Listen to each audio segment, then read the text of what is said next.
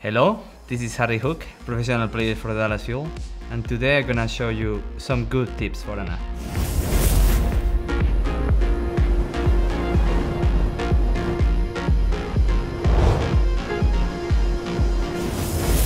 So I'm gonna show some basic stuff.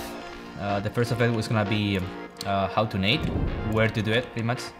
So Air is gonna go through the mini, and I pretty much gonna nade the wall when he comes with the seal, okay? So you don't have to throw the nade always in the ground, like trying to find the best target. Like it doesn't matter who you nade, as long as it's someone, because you can focus that person and uh, it will be easy to kill or uh, at least have some type of advantage in the fight. Another thing uh, is gonna be the sleep dart.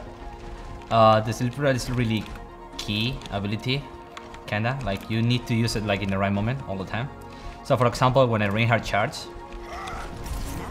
you know, you can abuse this a lot. Keep the ability you can, just to have it like as a defensive ability. There's gonna be some ways to use a slip.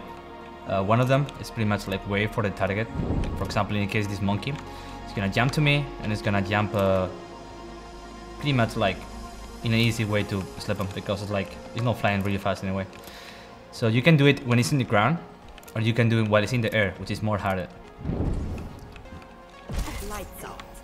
So as you see, uh, it's really easy to do it because it's pretty much not moving at all. And uh, it will be easy also to get punished. You can use the sleep dart to, to shut down uh, enemies' uh, ultimates.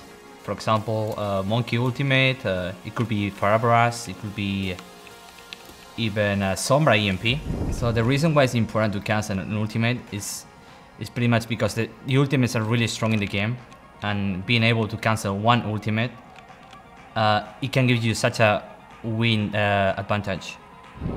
You can just pretty much win the fight just canceling one uh, good ultimate and stay alive. I want to talk also about the Winston ultimate um, because you can be able to cancel it really easy just with the sleep dart and uh, it's gonna be useless. It's gonna waste an ultimate for no reason and you're gonna have a more win advantage for your team. You're gonna stay alive.